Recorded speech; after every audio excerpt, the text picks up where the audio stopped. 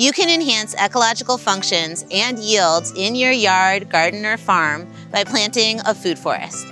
Permaculture Food Forest, we grow plants in relationship, and we're thinking about how to advance succession over time while still getting a yield that fills our bellies and delights our families.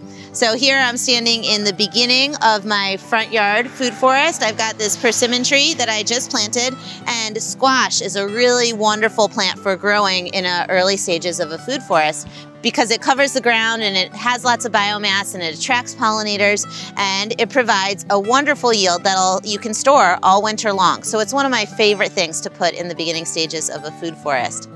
I teach permaculture food forests through Oregon State University online, so no matter where you are in the world, you can study with me.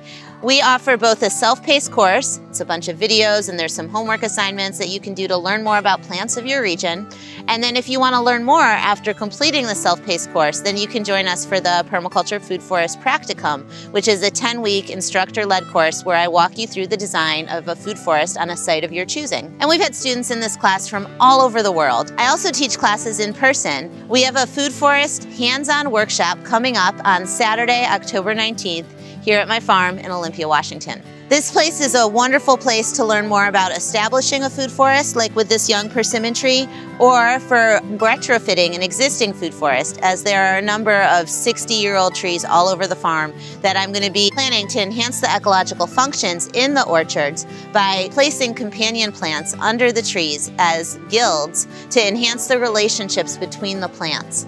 The plants that I select are going to be things that offer yields for me where I can eat them or maybe they're medicinal or maybe they provide food for my chickens. And my chickens also like to graze under the food forest so they can help with fruit cleanup and pest control. It's just a wonderfully delightful place to be. And whether you have an urban backyard and you want to grow more fruit and enhance habitat, or whether you have a lot of land and want to be providing for wildlife, this helps to stabilize our ecosystems where we live by being able to care for the other species that live here. Food forest is the perfect blending of producing yields for yourself and your community, as well as providing for the wildlife while enhancing your soil, enhancing water retention in your soil, there's so many things that they provide. I hope you'll join me to learn more about permaculture food forests either online with Oregon State University or here at the farm Saturday, October 19th.